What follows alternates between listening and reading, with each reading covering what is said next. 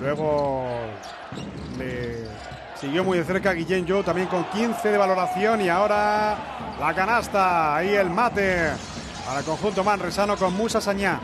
un chico joven interesante.